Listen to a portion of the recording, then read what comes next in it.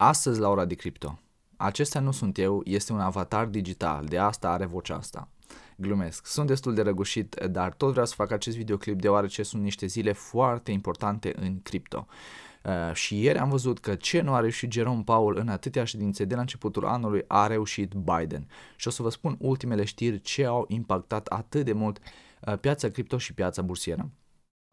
Biden a propus mărirea taxelor pe câștigurile de capital de la 20% la 39,6%, cel mai mare nivel din 78 încoace. Și instant bursele au scăzut mult ieri, implicit indicele principal S&P 500 a înregistrat o scădere de peste 2%. Qcoin este dat în judecată de procurorul general al New Yorkului și numește ETH Security. Și de altfel, tot Biden vrea să taxeze cu 30% toate companiile care folosesc electricitatea să mineze Bitcoin. Și o să vedem cum arată graficele în momentele următoare.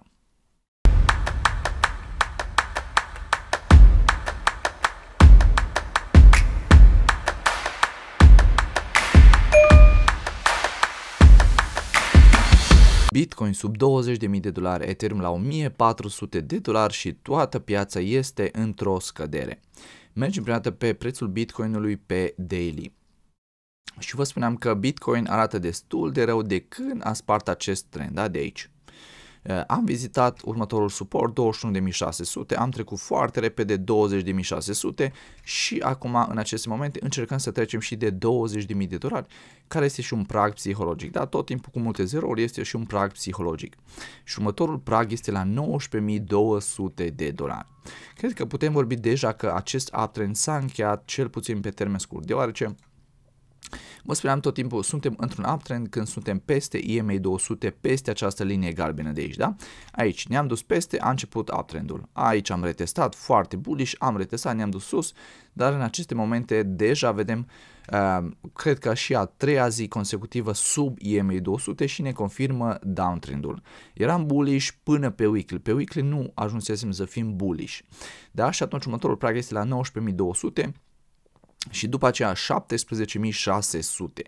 Eh, vedeți când începe un downtrend vin și toate știrile negative și cred că este doar începutul. Eh, vedem că și volumele sunt destul de mari în piață. Deci țineți minte aceste praguri de suport și mergem și pe weekly, pe eh, Bitcoin și pe weekly putem vedea aceste zone. Bitcoin a luat reject exact în 25.000 de dolari și vorbeam că s-ar putea să se formeze un double top, da? Ceea ce s-a și format, un tipar bearish, și Bitcoin este în scădere uh, destul de mare. A luat reject de aici, s-a dus sub acest suport, sub 21.000 de dolari, iar următorul prag important este în zona de 18.300, 18.600 și dacă punem și VPVR-ul uh, să vedem și orderele și unde sunt uh, volumele, vedem că avem volume foarte mari în aceste zone, între 18.000 uh, 400-500 și 21.000 de dolari. Da, de aici nu m-ar mira să facem un bounce, să vizităm iar 21 și după aceea să mergem și mai jos. Uh, bineînțeles, toate aceste uh, lucruri pe care le vrea Biden trebuie să treacă și de republicani, da? Nu sunt sigur că se vor impune imediat, da? Atunci o să mai vedem cum o să reacționeze piața. Dar Bitcoin pare că și-a încheiat pe termen scurt uptrendul și atunci aceste zone sunt de urmărit și pe weekly 18.400-18.500 unde am stat aici până ne-am plictisit. Aici este un suport foarte important și dacă trecem și de acela am putea vizita 16.000 de dolari. Și de aici din punctul meu de vedere ar trebui să facem și un double bottom, da? De aici să mergem în sus. O să vedem până atunci. Uh, mergem și pe uh, CME Futures Gap. Uh, Bitcoin a format și un gap aici în 19.800 și 20.000 de dolari aici, da? pe care l-a și închis Bitcoin aici. S-a închis gap-ul, putem merge și mai jos. Uh, mergem și pe burse. S&P-ul la 3885. La fel, S&P-ul este destul de bearish de când a spart acest uptrend. Vedeți, uh, din octombrie 2022, uh, teoretic am fost într-un uptrend, da? minime din ce în ce mai mici uh, și maxime în urcare. Teoretic eram într-un uptrend, dar cum a vorbit Biden, cum piețele au reacționat foarte negativ și am văzut o scădere de 2% ieri și astăzi o să vedem câte uh, o să mai scădem, dacă o să scădem. Și atunci S&P-ul sub 3927 foarte bearish, următorul prag este la 3841 iar mai apoi la 3761. S&P-ul destul de bearish, dacă deschidem și pe daily sub EMA Ribbon, sub EMA 200, uh, vă spuneam că am deschis un short în zona de 4011, cum l-am dat și pe Telegram, dacă nu sunteți pe Telegram trebuie să intrați, uh, este linkul în descrierea videoclipului, uh, S&P-ul destul de bearish, dacă nu se schimbă ceva în următoarele zile, ar trebui să ajungă în 3840, 3761. Mergem mai departe, mergem pe DXY-ul. Foarte interesant este că pe această scădere DXY-ul nu urcă, dar este la rezistență. Dacă și DXY-ul ar urca de aici de la 105,3 spre 107, atunci nu văd bine cripto și piața bursieră.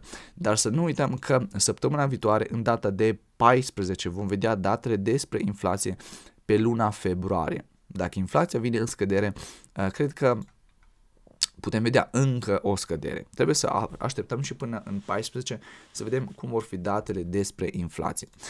Uh, un lucru la fel foarte negativ este că USDT.de merge în sus. Vă spuneam tot timpul când uh, vă puteți da seama dacă avem un uptrend pe altcoin și pe Bitcoin este atunci când USDT-ul uh, .d merge sub EMA 200. De aici a început un uptrend, da? De aici când am închis sub EMA 200 și ne-am dus, ne-am dus, ne-am dus, am stat, am stat, am stat sub și de când am închis peste EMA 200, de aici sunt niște semnale bearish. Și USDT.de a ieșit din acest W pattern sau double bottom, care sunt tipari destul de bullish și ne arată sfârșitul downtrendului și targetul din acest W pattern este la undeva la 8.32 și vedem în ultimele 3 zile uh, oamenii s-au dus deja în stable coin-uri și ne arată că oamenii se așteaptă deja la dumpuri și nu este un lucru foarte bun. Uh, ne arată încă o dată că acest uptrend s-a cam încheiat pe burse și pe cripto dacă nu se schimbă ceva major în următoarele zile. Uh, mergem și pe Egold. Egold la 38 de dolari. După exportul a început să scadă, și Eagle este sub un suport foarte important, sub 40 de dolari. 40 de dolari era 0618 pe Fibonacci. Uh, și după 40 vedem 37 și următorul prag este la 33 de dolari. Aici sunt două zone foarte bune de acumulat long term. Bineînțeles, dacă Bitcoin merge sub 16.000 de dolari, ceea ce este foarte greu de crezut, deoarece 16.000 de dolari este un suport foarte important uh, Egold 30, 32 și după aia 30. Sunt două zone foarte importante pe Egold pe uh, termen mediu, pe termen scurt și termen mediu. Țineți minte aceste zone și pe Egold și dacă ne uităm și pe Egold BTC, Egold BTC încă este în scădere uh, din acest uh, canal descendent. Da? După exportul a luat reject de la rezistență, Egold BTC încă se află în acest canal descendent. Egold va fi bullish când va sparge Egold BTC această rezistență. Da, o să vedem când o să spargă această eh, rezistență. Mergem și pe ETH. A început fadul și pe ETH. ETH la 1403 și cred că este doar începutul pe ETH. Uh, vedem cum a luat reject de la această zonă de la 0619 pe Fibonacci, s-a dus în 1486 și ieri cu fadul cu security uh, s-a dus la următorul prag la 1400 de dolari. Uh, următorul prag este la 1328 și încă ETH BTC nu a început să scadă. Dacă și ETH BTC ar începe să scadă, sunt gata să shortez ETH BTC și se poate face acest lucru pe uh, Prime XBT. Vă spuneam că ETH BTC încă este foarte, foarte sus din punctul meu de vedere. Uitați-vă cum arată și pe weekly, da? Adică într-un bear market ETH să se mențină atât de bine. Sunt gata să shortez ETH și în funcție de Bitcoin. În funcție de USDT l-am deschis undeva la 1545 încă este deschis, după cum ați văzut și pe Telegram, sunt gata să shortez și ETH BTC. Și atunci ETH USDT uh, arată că este într-o corecție și o corecție care abia a început. Sub EMA Ribbon pe daily, volumele sunt mari, uh, tot timpul când este fat începe să scadă. Da? Uh, și următoarea zonă este 1328 și după aia, după aia spre, mergem sub 1200. 1000 de dolari este o zonă uh, destul de importantă și nu știu dacă va trece de 1000 de dolari, doar dacă se va întâmpla ceva major.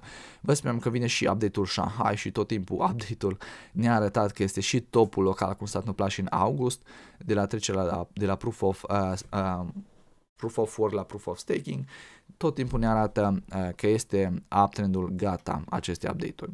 Și atunci o să vedem cum o să evolueze și ETH, dar deocamdată sunt încă short puternic pe ETH. Cam atât a fost pentru astăzi, sper că v-a fost de folos acest videoclip și vă mulțumesc de fiecare like și de fiecare coment. Pe data viitoare!